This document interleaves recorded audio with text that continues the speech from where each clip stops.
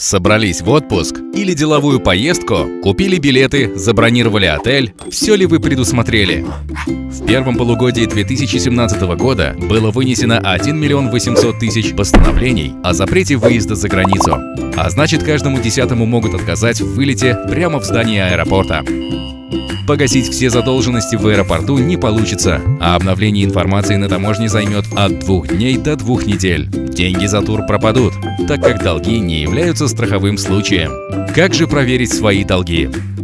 Можно зарегистрироваться на множестве государственных ресурсов и попробовать самостоятельно разобраться, какие долги повлияют на ваш вылет. Но информация на таких ресурсах обновляется с задержкой до двух недель, поэтому данные могут быть неактуальными. А сведения о кредитах и некоторых других типов долгов можно получить только из закрытых источников. Полную и актуальную информацию о всех ваших долгах поможет получить невылет.рф. Укажите минимальное количество данных и через несколько секунд вы получите готовый отчет о всех ваших долгах. Мы проанализируем информацию информацию из всех возможных источников, в том числе закрытых. Оценим вашу вероятность вылета, покажем все ваши долги, расскажем, какие из них являются критичными и дадим возможность оплатить их прямо из отчета. Невылет.рф.